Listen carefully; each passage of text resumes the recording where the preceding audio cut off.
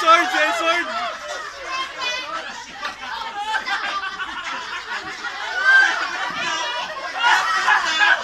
Ha ha ha.